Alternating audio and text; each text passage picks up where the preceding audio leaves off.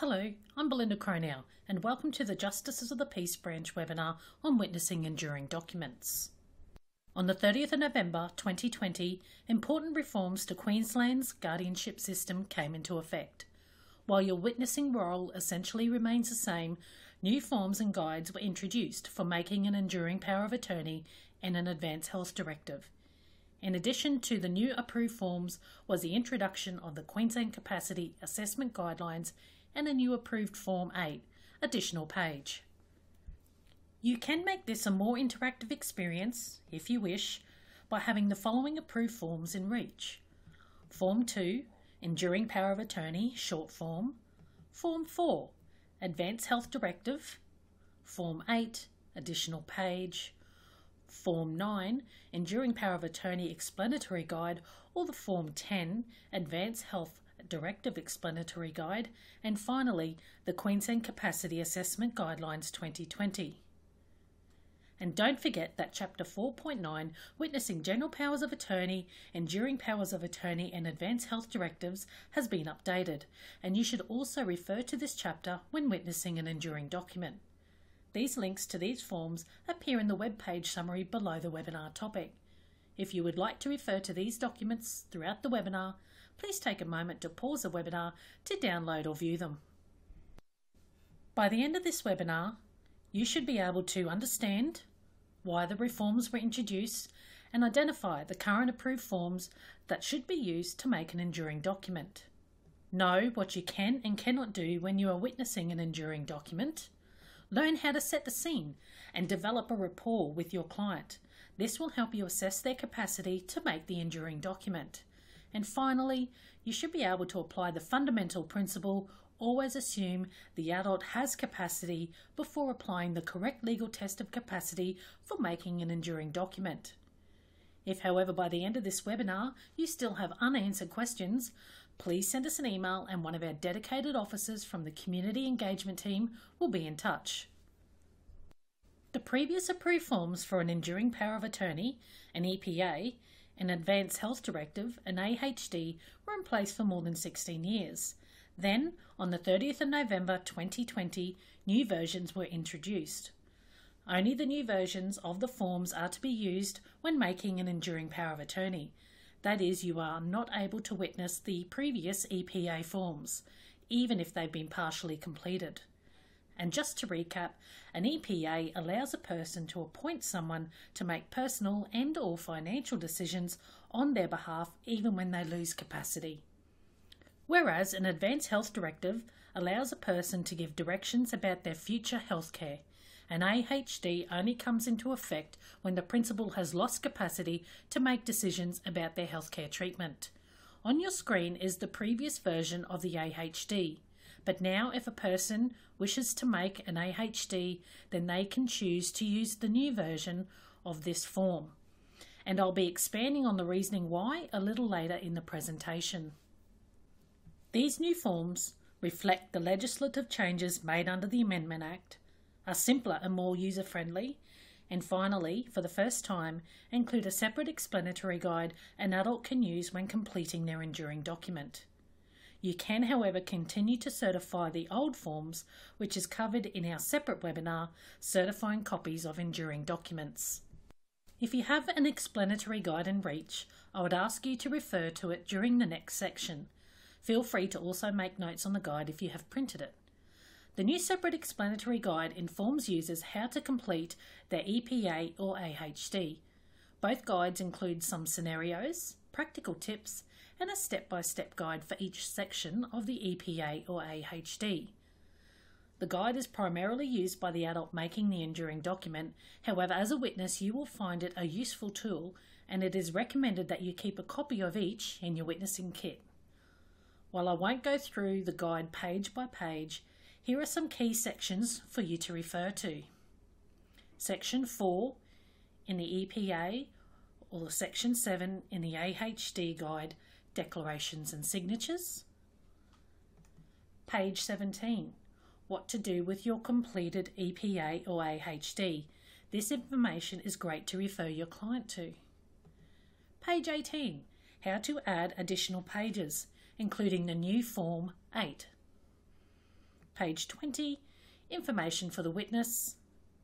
Page 25, some commonly asked questions or FAQs on making an EPA or an AHD. And finally, page 27, which has contact information for your client if they need further assistance. Moving on to the new Queensland Capacity Assessment Guidelines 2020, which I will now refer to as the Capacity Guidelines from now on, also came into effect on the 30th of November 2020. The capacity guidelines provide general information about capacity, capacity assessment, and the legal tests of capacity in Queensland. This guide will be indispensable to you as a witness. The first five sections of the capacity guidelines explain what capacity is and how to assess a person's capacity to make day to day decisions about their personal, health, or financial matters. Some examples of these types of decisions include where they live, their day to day activities, where they work, consenting or refusing medical treatment, depositing money into a bank account, and paying everyday living expenses. If you wish to know more about capacity for making decisions, refer to sections 2 to 5 of the Capacity Guidelines. The section which is relevant to witnessing an enduring document is section 6 assessing capacity to make an enduring document, and starts on page 40. This section of the capacity guidelines contains checklists and practical tips for assessing capacity to make an enduring document, as well as referral information for your client if they need assistance in making or completing their enduring document. If I could ask you now to refer to Form 8, additional page. There may be times when your client needs additional space to add more information. For example, they may wish to add more attorneys or add additional terms and instructions than the space on the form allows. To do this, the client can use the new Approved Form 8 additional page. An additional page can only be added at the time of witnessing and not afterwards. You are also required to sign the Form 8 and don't forget to include any additional pages of the enduring document when inserting the total number of pages in the witness certificate section. It is not essential to use the Form 8 for additional pages, but it makes the process easier for the client. As you can see, Form 8 clearly indicates at the top that it is for an EPA or an AHD and has designated areas for both the witness and the principal to sign. If you have witnessed a Form 8, it is placed at the end of the enduring document, that is, the last page. Now that you have been introduced to the new approved forms, let's look at some of the key differences. As mentioned, the information on how to complete an EPA or an AHD is now combined into a separate explanatory guide. If a person is making an EPA, there are still two approved forms a person can use, depending on how they wish to appoint their attorneys. The Form 2 Enduring Power of Attorney short form should be used if the person wishes to appoint one or more attorneys for personal matters only, or one or more attorneys for financial matters only, or the same attorney or attorneys for both personal and financial matters. If you have the Form 2 in reach, I would ask you to first turn to page 9. Page 9 is the declarations and signatures. This is where you witness the principal or an eligible signer for the principal sign the EPA in front of you. You will notice now that the eligible signer, if used, must complete their details upon signing for the principal.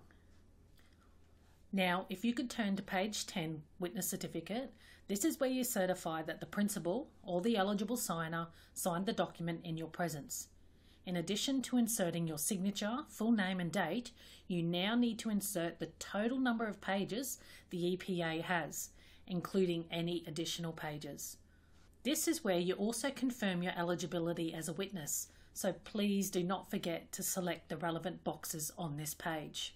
Whereas, if the adult wishes to appoint different attorneys for personal matters and financial matters, then the Enduring Power of Attorney long form, or Form 3, should be used. As you can see, there are only two additional pages to the long form compared to that of the short form. This is because of the separate appointment of attorneys. If you have the Form 3 in reach, you can see that you are still only required to sign two pages. Page 11, Declarations and Signatures, and page 12, Witness Certificate. There is one very important change to the Powers of Attorney Act 1998, and that is the limit to the number of joint attorneys that can be appointed under an EPA. Joint attorneys must agree on all decisions under the EPA. Amendments to Section 43 of the Powers of Attorney Act 1998 means a principal can only appoint a maximum of four people to make decisions in this way. Otherwise, there is no limit on the number of attorneys that can be appointed in another manner. Finally, all approved forms, including the AHD, require the attorney or attorneys to sign their acceptance after the EPA or AHD has been completed and witnessed. Moving over to the approved Form 4, Advanced Health Directive. The old form was a lengthy 24 pages, and now with the separate explanatory guide, the new form is only 14 pages. Unlike an EPA, there is no formal requirement to appoint an attorney in an Advance Health Directive, nor must it be in the approved Form 4. Let me explain further. Appointing an attorney to make decisions is not mandatory. If an attorney is appointed, it is for personal, including health matters only. If no attorney has been appointed, then this section, or the attorney section, should be ruled out. Back to the AHD being in the approved form. Under the Powers of Attorney Act 1998, Section 44 lists the formal requirements that are to be met when making an enduring document. Specifically, an enduring power of attorney must be in the approved form. An advance health directive must be written and may be in the approved form. There is also a further separate formal requirement for an AHD, an Advance Health Directive must also include a certificate signed and dated by the doctor mentioned in subsection 7, stating that the principal, at the time of making the Advance Health Directive, appeared to the doctor to have the capacity necessary to make it. This means a person can present an AHD to you in a different format than that of the Form 4. For example, an Advance Health Directive for mental health. Finally, as previously mentioned, there is no limit to the number of attorneys that can be appointed in an AHD.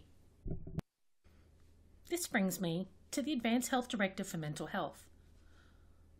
This document, which is currently being displayed on your screen, is a combined guide and form and is used by a person wishing to make an AHD that documents their decision surrounding their mental health treatment. The AHD itself is only five pages long and may be presented to you for witnessing without the guide. This is perfectly acceptable. A person can use this form to make an AHD, as it is compliant with the Powers of Attorney Act 1998. You can witness this AHD for mental health, even though it's not in the approved Form 4, just follow the same witnessing practice as you would for that form. With changes, though, to legislation, this form is currently under review and as a result, Queensland Health has prepared a fact sheet to assist anyone wishing to use this guide and form to make an AHD. Let's move on and talk about your witnessing role. Chapter 4.9 of your handbook has been updated and has detailed information to guide you through the steps of witnessing an enduring document. If you're not familiar with witnessing an EPA or an AHD, then you should refer to this chapter during the witnessing transaction. Essentially, your witnessing role hasn't changed. With the amendments to legislation, you are still an impartial witness and are required to ensure that the adult, also known as the principal, making the enduring document has the capacity to do so. This means the principal must understand the nature and effect of the enduring document and make the enduring document freely and voluntarily. I'm going to explain that a little bit further. It's not enough for the adult to have a general understanding of the enduring document. The law requires them to understand the nature and effect of the enduring document, the power that it gives, when it operates and how, and when they can revoke or cancel it. It must be clear that the adult is not being pressured into making the enduring document. Sometimes a family member, friend, or carer may behave in a manner that is domineering or overbearing and is seeking to pressure the principal into making a decision a certain way. You can satisfy yourself that the principal understands the nature and effect of the enduring document and that they are making it freely and voluntarily by setting the scene before conducting the correct legal test of capacity. But before you do this, there are a couple of things to check first. Before you witness an EPA, first check that it is in the approved form, which is currently Form 2 version 4 for the short form or Form 3 version 4 long form.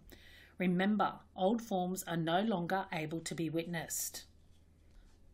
Ask the principal if they have an existing EPA in Queensland or in another state or territory.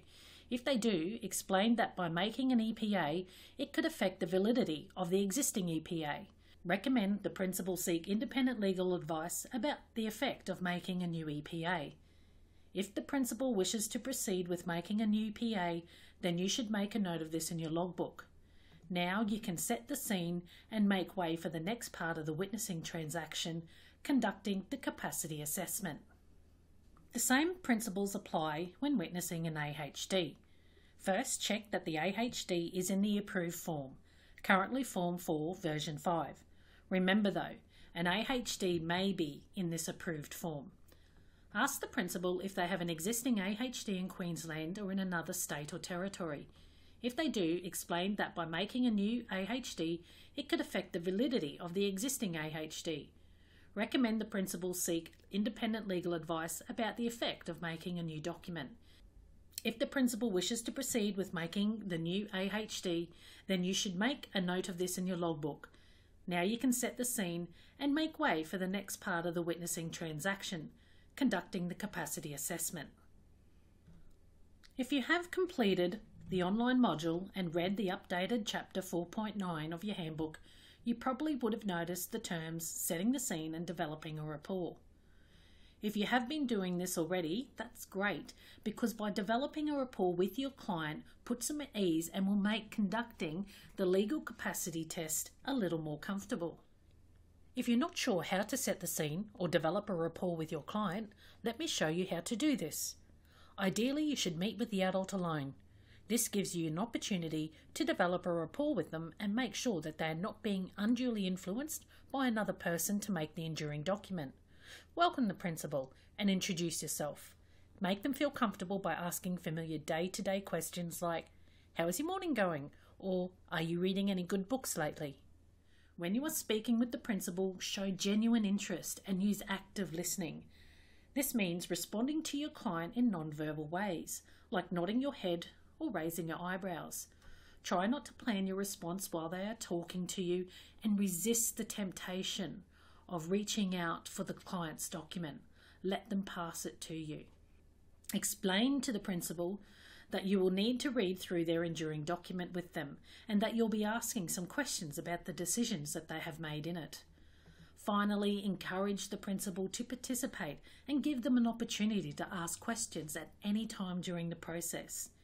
It's best to use your own words to explain this to the principal you can refer to page 46 of the Capacity Guidelines and chapter 4.9 of your handbook, which further explains how to do this.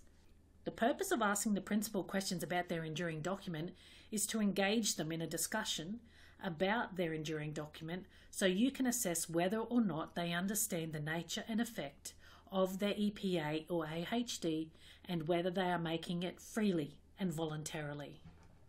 By using these simple techniques, you are setting the scene and you are making way for the next part of the witnessing transaction, the capacity assessment.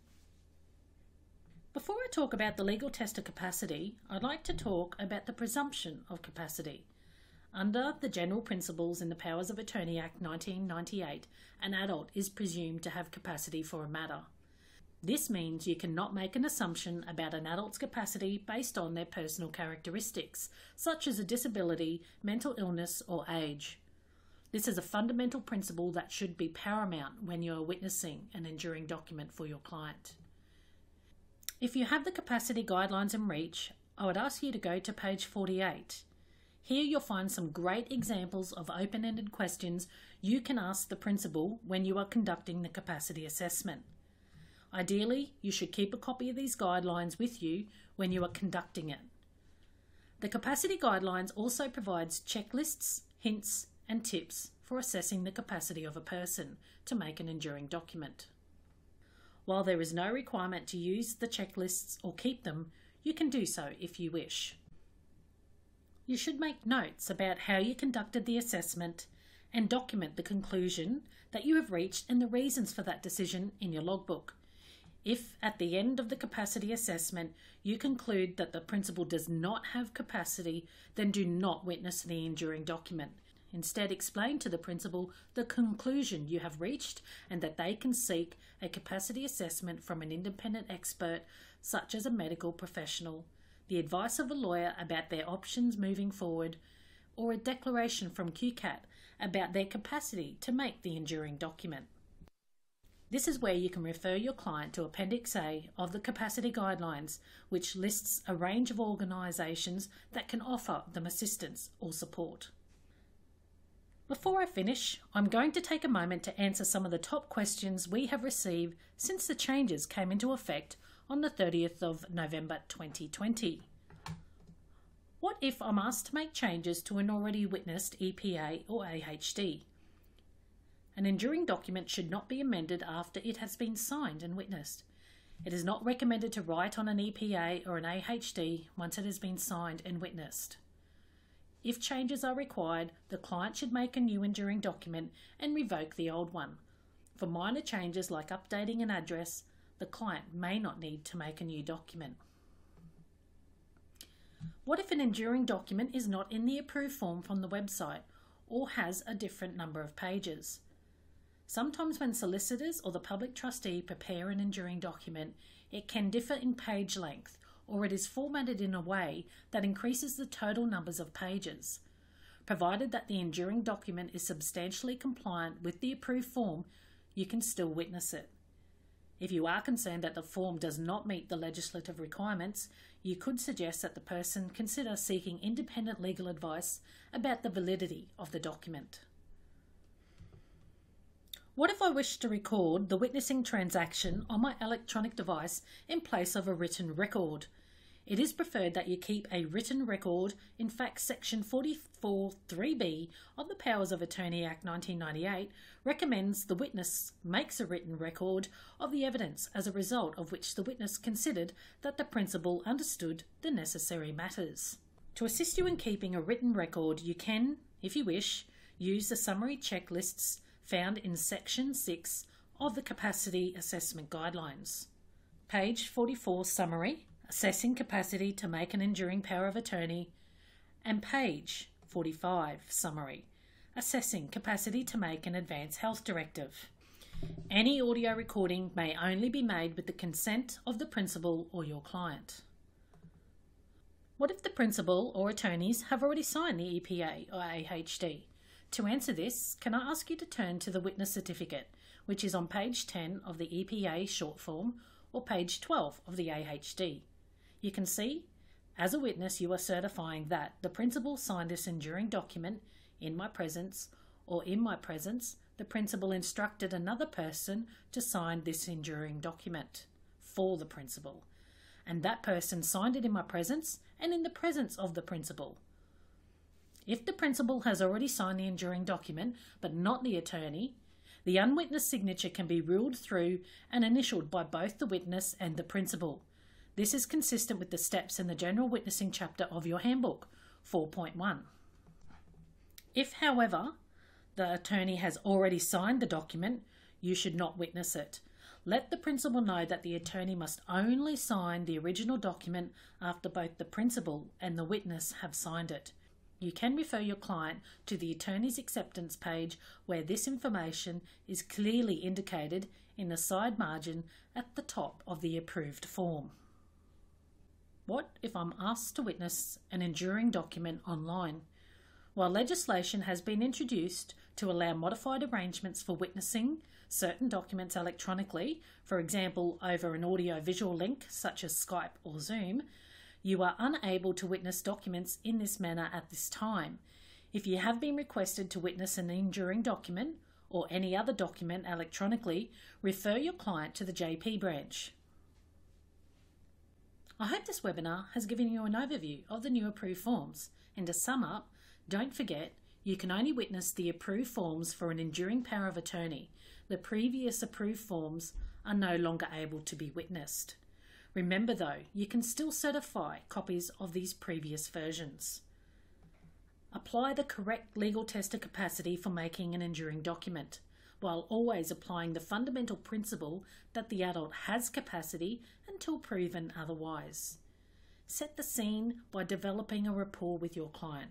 Remember to ask open ended questions, explain the process to them, and encourage your client to participate by asking their own questions.